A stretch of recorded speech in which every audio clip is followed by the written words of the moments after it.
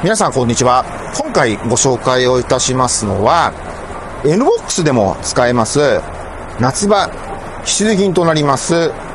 ロールサンシェードのご紹介をしていきたいと思います。もう今、すでにこちらのロールサンシェード装着させていただいておるんですけれども、NBOX ですと、普通の車とレイアウトが少し異なって、このロールサンシェードがつかない車もあるんじゃないかと思います。なぜつきにくいのかっていうことなんですけれど、まず、このピラーがかなり立っている状態になっていて、で、このサンシェード自体が内側に来ています。で、またこのミラーも、通常だとこの、もうちょっと前の方に来ているはずなんですけども、この A ピラーが立っているせいで、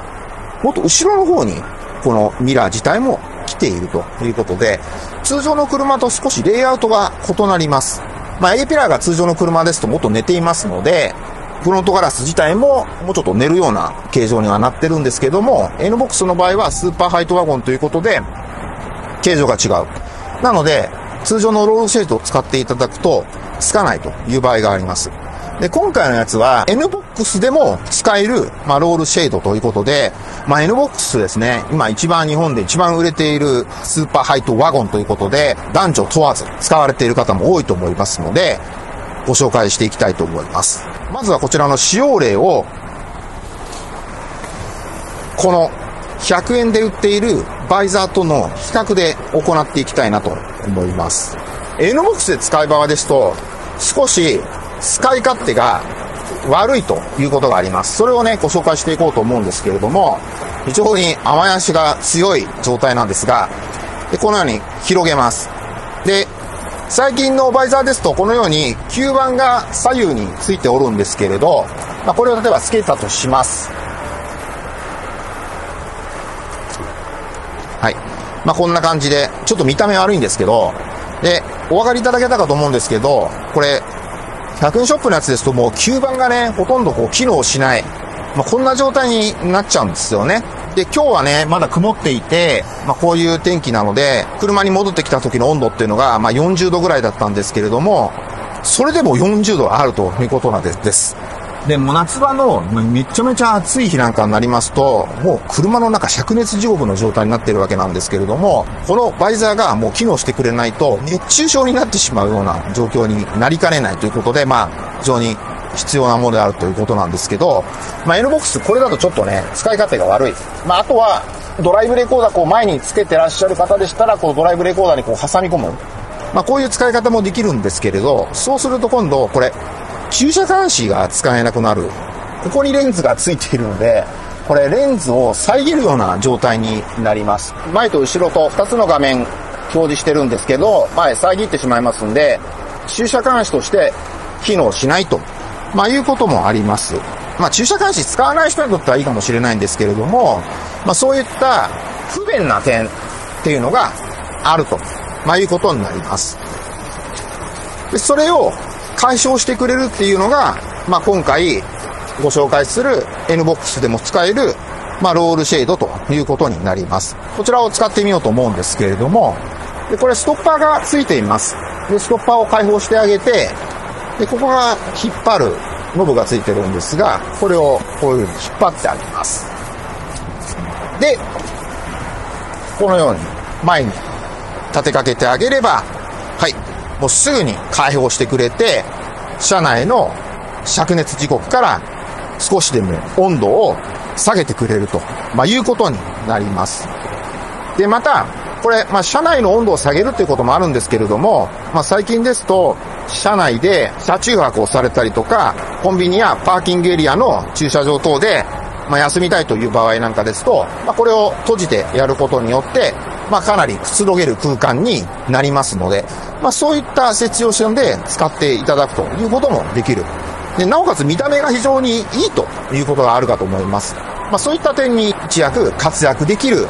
用品になってくるかなと思います。で、また開放したいと思うんですけれども、その場合はこちらにリリースのボタンがついておるんですけれども、ここを押してあげれば、はい、自動的に巻き上がってくれますので、まあ、絡まったりするということも一切ないということになります。で、ここにストッパーあるんで、ストッパー止めると。で、わざわざこのストッパーこのように開放するのはめんどくさいという方もいらっしゃると思うんですけど、まあ、その場合はもうここ開いておいてもいいかなと思います。特にこれによって落ちてくるということは、まあないと、まあ、いうことになります。はい。で、これ 1way になってますんで、一回引っ張ってしまうと、また、このように戻す必要っていうのがありますので、はい。戻していただければ上まで上がると。で、まあ、これを使っていただくと、まあ、よりしっかりと固定ができると、まあ、いうことになっております。なので、特にもう女性の方にとっても非常にぴったりですし、まあ、軽のお乗りの方で、まあ、高齢者の方で、もう、とにかく暑さ対策をしたいという方にとっては、非常にうってつけの製品ということになっておりますので、おすすめかなと思います。で、また最後に取り付けなんですけれども、これ、バイザーにはめ込むタイプのものとなっております。なので、いちいち工具等の必要というのもありません。このように N ボックスってバイザーの幅がね、かなり広くなっていて、普通のロールサンシェードとかですと、つかない場合っていうのがあるんですが、これはそれに合わせたこのバンドで取り付けてるんですけれども、長さに合ったものを使用しているということになっておりますので、誰でもすぐに簡単に設置することが、まできるというところが大きな魅力になってくるかなと思います。で、また、一番気になるところはここですね。ミラーの干渉が気になるということもあると思うんですけれども、このロールサンシェードは NBOX でもちゃんと使えるようになっておりまして、ミラーの干渉等も特になく、アングル調整も普通にできてしまうと、まあ、いうことで、特に使っていただく上で心配はないかなと思います。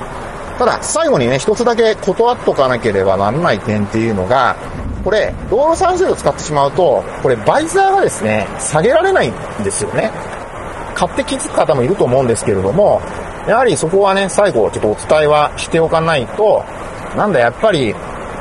売るだけのレビューなのかってちょっと思われるのもね、嫌なので、私自身も。なので、まあ、これは使えなくはなってしまうんですけれども、やはり、このロールシェードを取り付けたいという方には非常にうってつけの製品になっておりますので、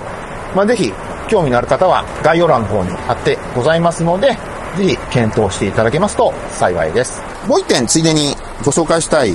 カー用品がありますので、お付き合いいただければと思うんですけれども、おそらく iPhone 持ってらっしゃいますユーザーさんですと、欲しいなと思われる方もいらっしゃるかもしれません。こちらが MagSafe 対応のスマホホルダーということで、最近はですね、iPhone も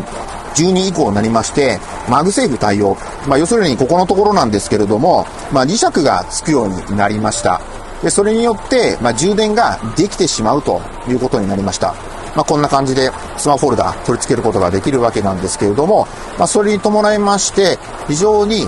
シンプルな設計になったというのが大きな特徴になります。まあ、これですと、このインパネ周りの美観を損なうということも非常に少なくなりますし、あ、取り付けてもいいかなって思われる方もいらっしゃるんじゃないかと思います。で、今回は NBOX のケースでご紹介していこうと思うんですけれども、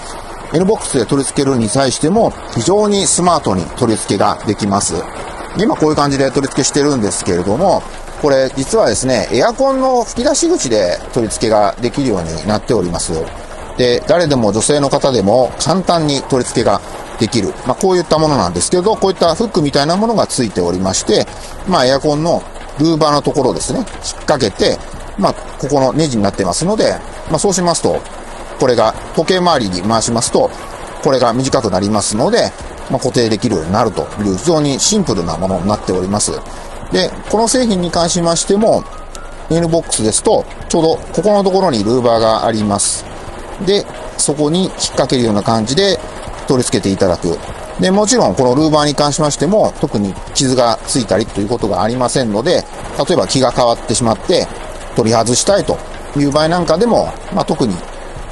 傷がついて見た目が悪くなっちゃったねっていうようなことっていうのも、まあ、特にはないと、まあ、いうことで、スマートに使えるということになります。で、さらに NBOX の場合ですとですね、下の方行っていただきますと、ここに USB のポートがあります。これはナビのポートなので、本来でしたら、さらにこの下にパワーアウトレットがありますので、まあ、そこから給電するのが一番望ましいんですけれども、まあ、ここに給電していただいても、充電の方はできます。で、配線の方もしっかりと、ここの棚のところにしまうことができますので、まあ見た目も全く悪くならないということになります。で、このような形で、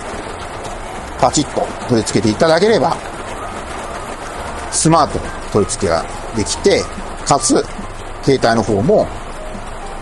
メール等の確認ですね。まあそういったこともあると思うんですけれども、しっかりとできるということになります。で、使い方としてはやはり運転席にこう向けて使われるというケースの方がいいかなと思います。まあそういった時に、この Face ID で認証する時なんかもすぐにパッと切り替わってくれますので、すごく使いやすいんじゃないかなと思います。まあ今は、こちらは